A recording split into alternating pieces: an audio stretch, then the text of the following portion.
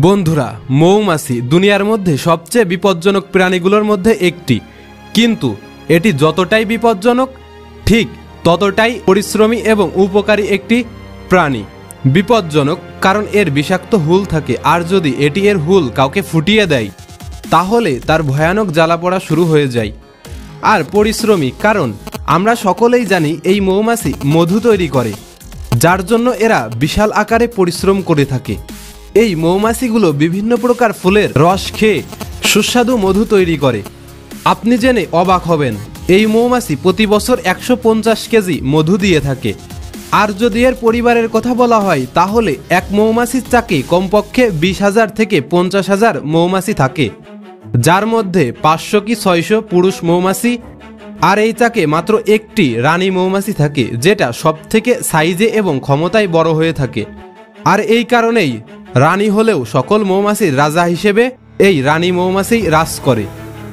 হ্যাঁ বন্ধুরা, এই চাকের মধ্যে পুরুষ ও রানী মৌমাছি ছাড়া সব মৌমাছি শ্রমিক মৌমাছি হয়, যারা রানীর আদেশ পালন করে। আর বন্ধুরা, মৌমাছি উপকারী, কারণ আমরা সকলেই কম বেশি মধু কিন্তু পছন্দ করি, আর এই মধু কিন্তু আমাদের শরীরের জন্য খুবই উপকারী। কিন্তু আপনি কি জানেন মৌমাছির জন্ম কীভাবে হয়? যদি না জেনে থাকেন তাহলে ভিডিওটি সম্পূর্ণ দেখতে থাকুন। তো চলুন ভিডিওটি শুরু করা যাক। বন্ধুরা, জীবনচক্রের শুরুতে পুরুষ এবং রানী মৌমাছির মিলন হয়, যা আপনি ভিডিওটিতে দেখতে পাচ্ছেন। আর এদের এই মিলন কিছু সময় পর্যন্ত হয়ে থাকে। যখন এদের মিলন সম্পূর্ণ হয়ে যায়, তার কিছুদিন পরে রানী ডিম পাড়ার অবস্থায় চলে আসে। বন্ধুরা, আপনারা জেনে অবাক হবেন, এই রানী মৌমাছি একবারে দুই হাজার থেকে তিন হাজার ডিম দিয়ে থাকে। তারপরে এই ডিমগুলোকে শ্রমিক মৌমাছিগুলো দেখাশোনা করে। কিন্তু বন্ধুরা, এই ডিমগুলোর সাথেও এক আজব কাহিনী ঘটে যায়, যেটা শোনার পর আপনিও অবাক হয়ে যাবেন। কারণ এই মৌমাছি দুই ধরনের ডিম দিয়ে থাকে, এক ফার্টিলাইজ এবং দুই আনফার্টিলাইজ। আমরা যদি ফার্টিলাইজ ডিমের কথা বলি, তাহলে এই ডিমগুলো থেকে রানী মৌমাছি এবং পুরুষ মৌমাছির জন্ম হয়। আর যদি রানী মৌমাছির কথা বলি, তাহলে এগুলো পরবর্তী প্রজন্ম দিতে সক্ষম হয়। মানে এটি ডিম দিতে সক্ষম হয়, যেখান থেকে অন্য মৌমাছির জন্ম হয়ে থাকে। এখন যদি আনফার্টিলাইজ ডিমের কথা বলি, তাহলে দেখা যাবে এই ডিমগুলো থেকে শ্রমিক মৌমাছিগুলোর জন্ম হয়, যাকে ড্রোন ও বলা হয়ে থাকে। যখন এই ডিমগুলো তিন দিনের হয়ে যায়, তখন এটি লার্ভার আকার ধারণ করে। আর যখন লার্ভাতে পরিণত হয়, তখন শ্রমিক মৌমাছি এগুলোকে এক ধরনের স্পেশাল জেলি খেতে দেয়, যার ফলে এগুলো খুব দ্রুত বড় হতে থাকে। আর এই স্পেশাল জেলি ঠিক সেইভাবেই তৈরি করা হয়, যেভাবে মধু তৈরি করা হয়। কিন্তু এখানে অল্প কিছু ফুলের ভিন্নতা হয়। সাধারণত তিন দিন এই স্পেশাল জেলি লার্ভাগুলোকে খাওয়ানো হয়। এরপর মৌমাছিগুলো বুঝে যায় রানী মৌমাছি, পুরুষ মৌমাছি এবং শ্রমিক মৌমাছি কোনগুলো হতে পারে।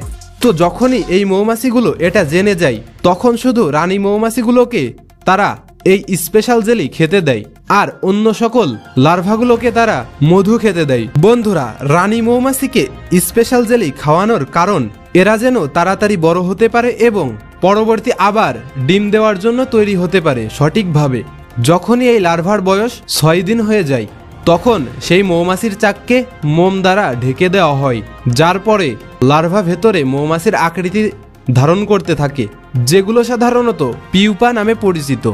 এর ষোলো দিন পরে রানী মৌমাছি মোম ভেদ করে বাহিরে চলে আসে। এভাবেই রানী মৌমাছির জন্ম হয়ে থাকে। আর তার কিছুদিন পরে, সাধারণত বাইশ দিন পরে শ্রমিক মৌমাছিগুলোর জন্ম হয়, আর এই শ্রমিক মৌমাছিগুলোই পরবর্তীতে চাক দেখাশোনা করে এবং লার্ভাগুলোকে খেতে দেয়।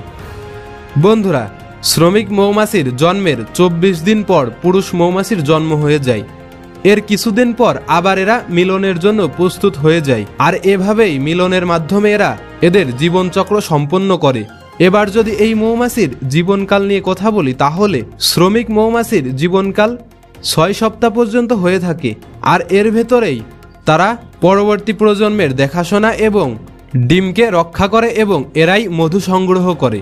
পুরুষ মৌমাছি সাধারণত বিশ সপ্তাহ পর্যন্ত বেঁচে থাকে আর এর মূল কাজ হয় রানী মৌমাছির সাথে মিলন করা, যার ফলে পুরুষ মৌমাছি মারা যায়। কারণ মিলনের ফলে পুরুষ মৌমাছি সকল বীর্য রানী মৌমাছির মধ্যে দিয়ে দেয়, যার কারণে পুরুষ মৌমাছির সকল শক্তি ফুরিয়ে যায় এবং এর জীবনকাল শেষ হয়ে যায়। আর রানী মৌমাছি সাধারণত পাঁচ বছর পর্যন্ত বেঁচে থাকে এবং তার রানীগিরি চালাতেই থাকে।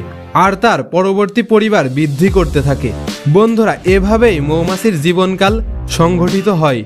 বন্ধুরা, আশা করছি ভিডিওটি আপনার কাছে ভালো লেগেছে। ভালো লাগলে একটা কমেন্ট এবং একটা লাইক আপনাদের কাছ থেকে এক্সপেক্ট করতেই তো পারি। আল্লাহ হাফিজ।